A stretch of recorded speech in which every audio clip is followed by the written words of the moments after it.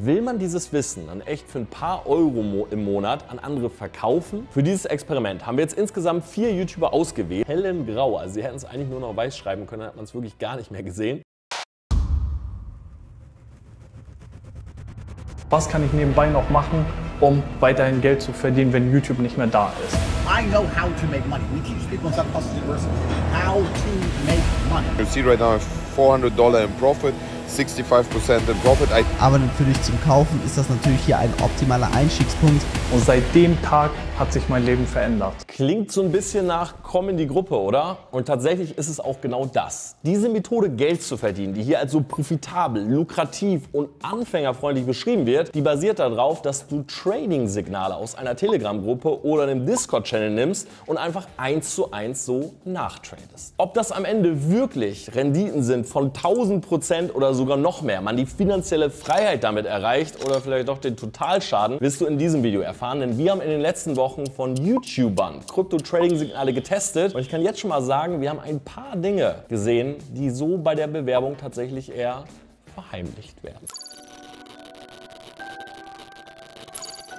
Also nochmal zum Verständnis. Wenn man jetzt von Krypto-Trading spricht, dann meint man damit das Kaufen und Verkaufen von Kryptowährungen. Man meint damit das Handeln von einer bestimmten Kryptowährung wie zum Beispiel Bitcoin und natürlich auch das Wechseln von Fiat-Währungen in Kryptowährungen. Und damit hat Krypto-Trading natürlich auch Ähnlichkeit mit dem Devisenhandel, also mit Forex, weil die Märkte sind jederzeit offen, funktioniert auf der kompletten Welt. Aber das Ganze ist natürlich auch sehr volatil und da Bitcoin-Handel immer noch relativ unreguliert ist, ist auch Manipulation möglich. Und deshalb warnt beispielsweise auch die Verbraucherzentrale Hamburg, dass das Ganze eben nicht nicht anfängerfreundlich ist. Und das hat mich auch gewundert, weil ich ehrlich sagen muss, so diese Methode Geld zu verdienen, die sehe ich eher auf so einem fortgeschrittenen Level. Deshalb bin ich auch sehr gespannt, ob beispielsweise jetzt diese YouTuber wie Slavik, Leon und so weiter auch eine Ausbildung damit drin haben, die erstmal einen wirklich erklären, was das überhaupt ist, wie das wirklich funktioniert oder ob das am Ende wirklich nur diese Signale sind. Und die haben halt tatsächlich auch noch einen zweiten Punkt angesprochen und der ist auch immer so in meinem Kopf und da könnt ihr gerne mal in die Kommentare schreiben, ob ihr das auch so seht, weil wenn man jetzt schon wirklich dieses Wissen hat, Ne? Und man sieht diese Charts, man kann die super gut lesen. Will man dieses Wissen dann echt für ein paar Euro im Monat an andere verkaufen oder will man das nicht lieber selber benutzen, um, sage ich mal, sein Vermögen zu vermehren? Weil ich finde, in dem Moment, wo du die Signale verkaufst, kriegt das immer so einen Touch von, hm, wird am Ende mehr Geld mit Signalen verdient, die verkauft werden, anstatt mit Signalen, die wirklich benutzt werden, um sein eigenes Geld damit zu heben. So oder so würde ich sagen, wir gehen rüber zum Streaming-Setup und gucken uns das mal an. Für dieses Experiment haben wir jetzt insgesamt vier YouTuber ausgewählt, wo wir die Signale mal testen wollen. Und die habt teilweise ihr uns in die Kommentare geschrieben, im Community-Tab oder auch tatsächlich mir bei Instagram. Der erste ist Krypto Deutschland und dahinter verbirgt sich der Max Steinauer, ist 21 Jahre alt, er hat einen eigenen YouTube-Kanal, über 30.000 Abonnenten und wirklich nur im Bereich Krypto, Bitcoin, Trading und so weiter. Auf seinem Instagram-Profil sagt er selber, dass er durch Trading finanziell frei geworden ist und das mit 21. Chapeau, wenn das wirklich stimmt. Und deshalb wirklich auch das Kernthema seiner Brand. Seine Signale kosten 99,95 im Monat. Der zweite im Bunde ist der liebe Slavik, den die meisten von euch wahrscheinlich unter Slavik Junge kennen. Er hat 857.000 Abonnenten auf seinem Main-Channel, aber der ist halt im Bereich Comedy. Jetzt hat er für neun Monaten einen eigenen Krypto-Kanal gegründet, nämlich Slavik Krypto. Und dort macht er wirklich fast täglich Updates, vor allen Dingen zum Bitcoin, also wie der Kurs gerade hochgeht, runtergeht, wie er sich verhält und so weiter. Und seine Signale sind tatsächlich kostenlos. Das heißt, man hat einfach unter den Videos wirklich einen Link zu einer Telegram-Gruppe und es wird auf den ersten Blick gar nicht so ersichtlich, wie er damit eigentlich Geld verdient. Dazu aber später noch ein bisschen mehr. Der dritte ist Andrew Tate und da haben wir ein komplettes Video schon drüber gemacht, haben so ein bisschen sein Business Coaching gezeigt, zumindest das Einsteigerding, nämlich die Hustler University 2.0. Die kostet 49,99, wir sind da also schon drin und da sind ganz viele verschiedene Geschäftsmodelle erklärt. Eines davon ist eben dieses im Bereich Krypto-Trading-Signale und die haben wir mit in dieses Experiment reingenommen, haben sich viele von euch auch gewünscht. Das heißt, man zahlt diese 50 Euro jetzt nicht nur für Signale, sondern bekommt noch viele, viele weitere Kurse. Es ist wirklich nur ein Bruchteil davon deshalb kann man nicht genau sagen, wie teuer das ist. Er selber, Ex-Kickbox-Weltmeister, jetzt Multiunternehmer, hat also sicherlich innerhalb seiner Brand Krypto auch irgendwo mit im Portfolio. Und der letzte im Bunde ist der Leon TV. Er selber ist bekannt durch ja, Straßenumfragen, vor allen Dingen im Bereich, wie viel ist dein Outfit wert? Na, da hat er mich Leute gefragt, wie viel haben die bezahlt fürs Shirt und so weiter. Ich glaube, er selber großer Fan von Gucci-Gürteln, das weiß ich noch. Mittlerweile macht er auch Krypto und das sagt er auch in einem seiner letzten Videos auf dem Main-Kanal. Nämlich, wo er sich eine Rolex kauft und meint, ey, über YouTube, kaum noch Einnahmen. Ja, so könnte ich mein Leben sozusagen nicht finanzieren. Deshalb vor ein paar Monaten mit Krypto angefangen. Er schaltet seitdem auch fleißig Werbung bei Instagram und so sind wir tatsächlich auch auf diese Seite gekommen, wo er seine eigenen Signale verkauft. Und ich würde sagen, wir gehen da mal rein und die zeige ich euch jetzt mal. CryptoLeonInvest.com. Das hier ist jetzt hier die Landingpage. Bitcoin war vor wenigen Jahren noch wenige Euros wert. Lass uns den neuen Bitcoin gemeinsam analysieren und Trends erkennen. Egal, ob du blutiger Anfänger bist oder schon Ergebnisse hast, ja, hier gibt es wirklich alles. Du kriegst eine Telegram-Gruppe, umfangreiches Wissen. Du lernst, warum dir niemand sagt, wie du wirklich, da fehlt ein Komma, mit Kryptos Geld verdienst und wieso andere an deiner Unwissenheit gleich doppelt verdienen. Da bin ich mal sehr gespannt. Und im Endeffekt auch, wie du als Laie von der Marktsituation profitieren kannst. Das Ganze kann man 14 Tage kostenlos testen, immer auf den neuesten Stand. Alle vergangenen Investments, die werden wir uns natürlich auch angucken. Einsichten, Einschätzungen erfahrener Experten, die wirklich langjährige Erfahrung haben und, das finde ich natürlich am besten, 1000 Prozent Rendite. Wenn man jetzt hier draufklickt, dann sieht man schon 0 Euro, 0 Euro, 0 Euro. Ein bisschen zu schön, um wahr zu sein, ist es auch, denn in diesem hellen Grau, also Sie hätten es eigentlich nur noch weiß schreiben können, hat man es wirklich gar nicht mehr gesehen, sieht man nämlich, dass tatsächlich die 97 Euro gecharged werden, nämlich nach 14 Tagen und dann das Ganze auch ein Monatsprodukt ist. So, ich würde sagen, das holen wir uns jetzt mal mit ein, zwei Klicks. Unter den Videos von Slavik kommt man hier, wie gesagt, direkt in die Telegram-Gruppe. Da muss man gar nichts mehr machen. Genauso ist es auch bei Krypto Deutschland. Einfach unter dem Video den Link anklicken. Dann waren wir in der Gruppe drin und dann kann man hier einfach mit PayPal sozusagen die Signale kaufen. Und bei Andrew Tate, ich habe es ja gerade schon angesprochen, sind wir schon eingeloggt, da die Signale hier ja wirklich im Discord sind. So Leute, jetzt haben wir uns alle Signale geholt. Ich würde sagen, für heute ist Schicht im Schacht. Morgen geht's los. Ich bin sehr gespannt, was für Geheimnisse wir erfahren, welche Ausbildung wir bekommen und ob wir am Ende mit diesen Signalen dann wirklich Profit machen oder unsere Kohle eher verlieren. So Leute, ich sitze jetzt hier seit ein paar Stunden, habe mich überall reingefuchst und eine Sache erstmal vorweg. Und zwar, wir sind jetzt ja überall drin, aber man weiß tatsächlich gar nicht, wie viele von diesen Signalen kommen. Ja, das heißt, jetzt ist zwar alles gesettet, aber ich habe gar keine Ahnung, ist das jetzt ein Signal, drei Signale am Tag, keine Ahnung, kommen die vielleicht nur alle zwei Tage. Macht natürlich irgendwo auch Sinn, ja, weil diese Experten oder die Leute vielleicht auch selber nicht immer einen guten Spot haben oder nicht jeden Tag. Aber das bedeutet auf jeden Fall, man muss alle Notification on haben und muss halt wirklich auch immer auf sein Handy gucken. Kommen wir also mal zu Slavik seiner Gruppe. Bei ihm ist es ja so, er hat wie gesagt einen YouTube-Kanal, da macht er so Chart-Analysen. Das ist sozusagen die Education oder das Wissen, was man bekommt. Aber man merkt schon recht schnell, er setzt voraus, dass man Ahnung von Trading hat. Also das ist jetzt so jetzt nichts für Anfänger, ne, was man da jetzt wirklich lernen kann sozusagen. Das ist wirklich für Leute, würde ich sagen, die schon im Game sind. In seiner Telegram-Gruppe sind tatsächlich 2937 Menschen zum aktuellen Zeitpunkt. Und wie gesagt, auch das, was er da drin teilt oder so, das muss man wirklich erstmal verstehen. Ja, bei Andrew Tate ist das Ganze ja ein Discord-Channel und da muss man am Anfang erstmal ein Quiz sozusagen durchlaufen. Das haben wir auch in dem anderen Video schon mal gehabt. Das heißt, der zeigt eigentlich sofort die Signale, sondern sagt, okay, du musst schon eine gewisse Ahnung haben, was Krypto ist, was Trading ist. Das finde ich auf jeden Fall gut. Wir sind durch dieses Quiz durchgekommen, sind dementsprechend auch im Discord-Channel. Und jetzt passt auf, da sind 27.772 Menschen. Es gibt Videoerklärungen, es gibt Linklisten mit Tools und so weiter. Ich würde schon sagen, als Anfänger bekommt man ein gutes Basiswissen und versteht auch, wie Trading überhaupt funktioniert. Ja, dann zu Krypto Deutschland. Er hat, wie gesagt, einen YouTube-Kanal, viele Videos, viel Wissen auf jeden Fall und er hat wirklich auch die umfangreichste Telegram-Gruppe. In dieser sind momentan 347 Menschen. Das heißt übrigens, durch die Signale macht er 34.682 Euro im Monat. Und da sind aber nicht nur die Signals drin, sondern dazu auch Erklärungen. Man hat oben im Sticky Post wirklich so Risikomanagement. Ich habe gerade ein Video zum Thema Strategie, Hodl-Portfolio und so weiter. Also man wird wirklich an dieses Thema rangeführt. Ne? Man kann zusätzlich auch die YouTube-Videos gucken und ich würde schon sagen, dann hat man ein gutes Basiswissen, sage ich mal, um wirklich auch Trades zu setzen. Und last but not least zum lieben Leon hier in der Telegram-Gruppe. Ich habe gerade noch ein, zwei aktualisiert, sind nur 30 Menschen. Das heißt, er macht mit seinen Trading-Signalen 2910 Euro im Monat. Und ich frage mich halt, lohnt sich das überhaupt? Also was zahlt er sozusagen den Experten? Weil auf der Website steht ja, er selber macht die Signale nicht, sondern Leute, die das seit Jahren machen. Und ansonsten bekommt man bei ihm aber auch nur ein Video, was so FTX erklärt, was Trading erklärt, also wie man sozusagen seine Signale dann auch wirklich benutzt. Aber jetzt keine Trader-Ausbildung oder irgendwie sowas. Okay, so viel dazu. Dann haben wir allerdings noch mal ein bisschen genauer hingeschaut, okay, wie verdienen diese Leute denn zusätzlich Geld? Und ein sehr, sehr großer Punkt ist Affiliate Commission. Das heißt, diese Plattformen, die haben natürlich immer Affiliate-Programme, die tatsächlich im Bereich Trading sehr lukrativ sind. Beispielsweise bei Leon habe ich mich hier angemeldet und ich selber spare 10% Gebühren über seinen FTX-Link. Ich habe mal nachgeschaut und er verdient tatsächlich 25 bis 40% an meinen Fees, die ich sozusagen über FTX habe. Das heißt, manche haben beispielsweise auch so ein Stufenmodell noch, wo du dann in der zweiten, dritten Generation verdienst. Aber alleine das ist auf jeden Fall schon mal gut extra Money. Zur FTX muss man auch sagen, dass die tatsächlich reguliert sind. Das heißt, die haben eine Europa-Lizenz. Also man kann das, glaube ich, schon guten Gewissens benutzen. Und man kann dort tatsächlich, und jetzt kommt's, aber nur mit einem 1,88er Hebel traden. Ja, ganz kurz zum Thema Hebel traden. Das bedeutet im Endeffekt, dass du deinen eigenen Einsatz durch Fremdkapital sozusagen erhöhst. Damit sind natürlich dementsprechend auch höhere Gewinne möglich,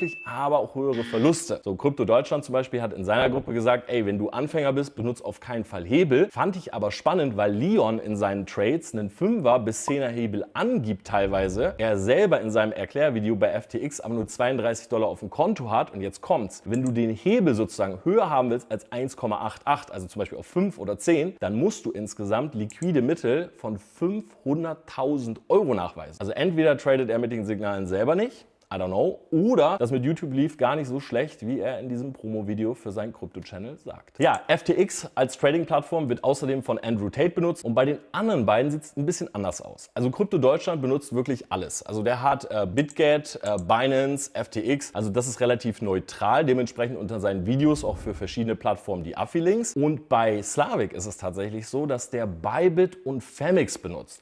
Und da habe ich mal so ein bisschen gegoogelt und bin auf zwei Sachen gestoßen. Einmal gibt es nämlich einen Artikel, Artikel von der BaFin, der gar nicht so gut aussieht. Da heißt es nämlich, die BaFin ermittelt wegen unerlaubter Bankgeschäfte und Finanzdienstleistungen, die vor allen Dingen über Krypto-Influencer promotet wurden. Ich glaube, Slavik mittlerweile auch in Dubai ansässig, dürfte also kein Problem mehr sein. Aber dazu hat auch der Hoss nochmal ein Video gemacht und das habe ich mir tatsächlich auch zweimal angeguckt und ihn auch mal selber kontaktiert, weil in diesem Video hat er schon sehr, sehr harte Kritik an beispielsweise diese Plattform Bybit. Es ist nämlich so, dass die Leute, die das bewerben, zwar eine unglaubliche unglaublich krasse Affiliate-Provision kriegen und man auch an den Fees und so weiter mitverdient und wahrscheinlich auch noch an ein, zwei Sachen, die ich jetzt hier gar nicht mutmaßen möchte. Aber dafür haben die, wie gesagt, hier keine Lizenz. Und die sind auf den britischen Jungferninseln. Die BaFin ermittelt, die hatten mehrere Skandale wegen Insiderhandel und die sind ein sogenannter B-Buch-Broker. Das habe ich mir vom Haus nochmal erklären lassen. Das heißt im Endeffekt, dass der Broker selber immer von seinen Kunden sozusagen die Gegenposition einnimmt. Also unterm Strich verdient Bybit Bybit Geld, wenn Leute auf Bybit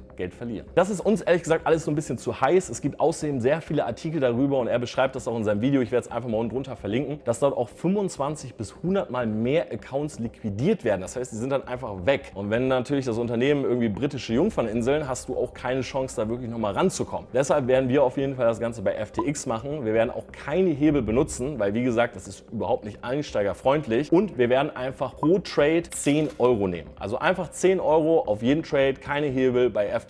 Was das Bybit-Ding angeht, I don't know, müsst ihr selber mal ein bisschen recherchieren. So, die ersten Trades sind tatsächlich durch und bevor ich euch die Ergebnisse zeige, nochmal ganz kurz bezüglich der Börsen. Und zwar, ich habe mal nachgeguckt, ich habe selber von Bitgate eine E-Mail bekommen und zwar am 7.6. Da haben die mir geschrieben, dass die mir 20.000 US-Dollar und 40% Provision anbieten. Die haben gar nicht genau geschrieben, wofür. Die wollen einfach irgendwie mit mir zusammenarbeiten. Ich bin einer der Top Krypto-Influencer Deutschlands. Das wusste ich auch noch nicht. Aber auf jeden Fall, ja, kann man sich vorstellen, wenn bei unserem Kanal, ja, wo Krypto irgendwie jedes zehnte Video ist oder so, schon sowas kommt, was dann wirklich Krypto-Influencer damit verdienen können. Ja, jetzt zu den Trades. Und zwar ist es tatsächlich so, bei allen ist wirklich der allererste durch. Und ich muss sagen, gerade bei Slavik war das gar nicht so easy, sich da reinzufuchsen. Hier erkläre ich auch warum. Krypto Deutschland, relativ simpel. Am 17.06. ging tatsächlich nicht auf. Bei Leon ging der erste Trade auf. Bei Andrew Tate ging er nicht auf. Und bei Slavik haben wir echt lange gebraucht, gebraucht, um das alles zu checken, weil der das so ein bisschen komplizierter anzeigt. Der macht auch immer wieder Videos und Updates dazu und so weiter. Aber am Ende des Tages ging sein Trade auch auf. Und deshalb mal kurz zur Erklärung. Also, ihr müsst euch das so vorstellen, wir blenden euch jetzt hier von Leon den einfach mal ein. Oben steht bei diesen Signalen immer, ob wir im Endeffekt kaufen oder verkaufen. Ja, das heißt Long und Short sozusagen. Und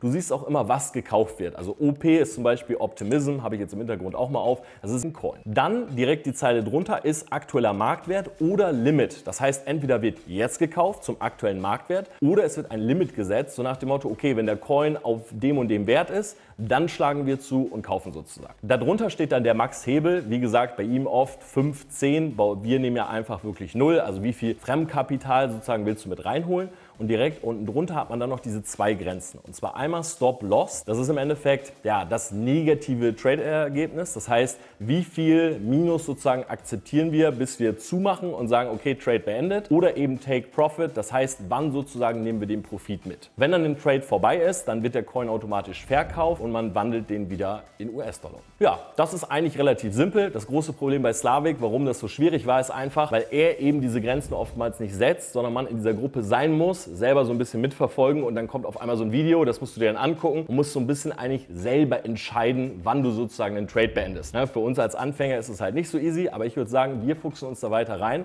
und werden das jetzt in den nächsten paar Wochen mal testen. Knapp drei Wochen später kommen wir jetzt zu den Ergebnissen und eine Sache vorweg. Natürlich ist das Ganze hier nicht aussagekräftig. Man müsste das wirklich über mehrere Monate machen, aber es gibt einen auf jeden Fall mal so ein kleines Fenster. Vor allen Dingen, wenn man darüber nachdenkt, dass zum Beispiel ein Leon ja auch bewirbt, hey, teste das 14 Tage, kann man ja mal gucken und dann eine Kaufentscheidung treffen, sind die Signale so gut, dass ich überhaupt kaufen will. Außerdem möchte ich nochmal sagen, dass im Gespräch mit Leuten, die wirklich seit Jahren traden, so eine Promotion wie, hey, das Ganze ist anfängerfreundlich und benutzt doch direkt 5er oder 10er Hebel auf jeden Fall Fall grob fahrlässig ist. Kommen wir also zum Vergleich der vier YouTuber. Slavik müssen wir ausklammern. Warum? Weil er fährt ein anderes Modell. Er verkauft keine Signale, sondern er baut eine Community rund um Trading auf. Das heißt, er hat diese Videos auf YouTube, die ähneln beispielsweise auch denen von MM Crypto, ja, immer wieder Bitcoin-Updates, weil er will, dass getradet wird, das Volumen rauskommt. Ja, ich habe den MM Crypto selber auch mal angeschrieben, bin mit denen auch connected bei Instagram. Er hat gesagt, ey, alles cool, ja, der kopiert das nicht, wir sind befreundet. Aber das ist eben das Modell. Man verdient Geld an Affiliate, an Fees, an Trading-Fees. Und wir hatten echt Probleme, diese Trades wirklich nachzutraden, weil teilweise gingen die über zwei, drei Tage. Das heißt, er macht einen Trade und lässt den halt so lange offen, bis der im Profit ist und dann geht er raus. Das heißt, man muss eigentlich immer in dieser Gruppe sein, das mitverfolgen. Konnten wir nicht. Deshalb haben wir tatsächlich bei ihm nur drei Trades gesetzt. Die sind auch alle aufgegangen. Wir haben damit 21 Cent verdient, was super wenig klingt jetzt, aber keine Hebel gesetzt. 10 Euro pro Trade und dadurch, dass eben nicht Stop-Loss und so weiter, auch nicht immer den besten Zeitpunkt erwischt, um rein und rauszugehen. Ich habe aber mehrere Nachrichten bekommen von Leuten auf Instagram, die sagen, ey, ich bin wirklich seit Monaten bei Slavik in der Community, er hat wirklich gutes Wissen, er hat gute Analysen, kann ich jetzt selber nichts zu sagen, deshalb gerne mal in die Kommentare, ja, wer vielleicht auch bei Ihnen in Telegram am Start ist und gerne auch mal Kommentare zu der Geschichte mit Bybit, weil wie gesagt, wir haben uns da nicht getraut, uns wirklich anzumelden. Jetzt zu den anderen drei. Wir zeigen euch alle Signale, die jeweils rausgegeben worden sind und wir zeigen euch auch, was wir davon traden konnten. Kurz zur Erklärung, manchmal, zum Beispiel bei Leon, kommt um 3.15 Uhr in der Nacht ein Trade. Wenn du den erst am Morgen siehst, dann kannst du da gar nicht mehr reingehen, weil sozusagen dieser Entry Point gemisst wurde und es nicht mehr wirklich lukrativ wäre. Bei Andrew Tate haben wir auf jeden Fall mit Abstand die größte Community. Es ist sehr viel Austausch im Discord. Man muss der englischen Sprache mächtig sein. Er haut auch tatsächlich von allen am wenigsten Trades raus, nämlich insgesamt neun Stück. Davon haben wir acht gesetzt, sechs sind aufgegangen und wir haben insgesamt einen Profit gemacht von 85 Cent. Bei Leon hingegen gab es wirklich gar keinen Austausch. Es gibt keine Community, es gibt nur Signale. Es sind nur 30 Leute in dieser Gruppe und das finde ich halt schade, weil er ist ja ein großer deutscher YouTuber, er ist relativ bekannt. Nur ich glaube, wenn man mal bei Instagram so in diese Comment-Section schaut, dann sieht man, er hat sich so ein bisschen verbaut bei denen. Durch, glaube ich, zu viel Flex-Stories und so weiter. Und im Vergleich zu Slavik hat er ja sogar sein Krypto-Ding auf seinen Main-Kanal promotet. Deshalb hat es mich so ein bisschen gewundert, dass die Conversion so schlecht ist. Dafür gab es eine Menge Signale, nämlich insgesamt 20 Stück. Davon sind aber nur sechs aufgegangen, zwei sind noch offen und wir haben insgesamt 3,72 Dollar verloren. Und beim vierten, bei Krypto Deutschland, aka Max, ist es halt so, es gibt eine Telegram-Gruppe mit wirklich viel Information. Ein großer Pluspunkt hier, wenn ein Trade nicht aufging, hat er wirklich so ein Erklärungsvideo gemacht mit Begründung, warum. Und dadurch lernt man halt wirklich viel. Auch wir als Laie haben uns echt alle angeguckt. Zusammen mit dem YouTube-Kanal ist das schon echt eine runde Sache. Er hat insgesamt zwölf Trades rausgehauen und jetzt kommt's. Zehn davon sind tatsächlich aufgegangen. Das heißt, wir haben insgesamt 1,05 Dollar wirklich in diesen zweieinhalb Wochen verdienen können. Das Einzige, was uns auch hier negativ aufgestoßen ist, ist in seiner Gruppe und auch auf allen Socials diese Bitget-Werbung. Deshalb, ich kann da selber nicht viel zu sagen. Mein Feeling ist, Bitget, Famex, Bybit geht alles so in die gleiche Richtung. Aber vielleicht kann der Max auch selber unter dieses Video mal kommentieren oder Leute, die sich damit besser auskennen. Aber irgendwie fand ich so, hey, wenn man so viel an Signalen verdient, warum dann noch so eine plakative Werbung in dieser Gruppe. Ja, Leute, das war's an dieser Stelle mit dem Video. Lasst gerne einen Like da, wenn es euch gefallen hat. Ich muss sagen, eines der für uns kompliziertesten Experimente. Schreibt auch gerne mal unten in die Kommentare, was sollen wir als nächstes testen? Ich kann schon mal spoilern. Nächste Woche kommt ein komplett anderes Video. Und zwar werden wir Produkte testen. Nicht die schon mal bei Hülle der Löwen waren, wie es der liebe Dave macht, sondern wir haben einen Hülle der Löwen Coach, der zusammen mit uns eure Produkte testet. Auch dazu packe ich unten mal einen Link rein. Ich habe mir schon über Instagram einige Zuschauer schicken lassen. Und wir werden uns auch mit dem Thema Trading, glaube ich, weiter beschäftigen, weil wir es ehrlicherweise echt spannend fanden. Heute Abend bin ich wieder live auf Twitch ab 20, 21 Uhr. Da reden wir über Metaverse. Danach gibt es Reactions. Könnt ihr gerne auschecken. Und ich verlinke euch auch noch mal ein Video auf dem Zweitkanal, nämlich das Interview mit Martin Frost. Denn ich glaube, in nächster Zeit wird es tatsächlich noch mal ein Update von den Hackern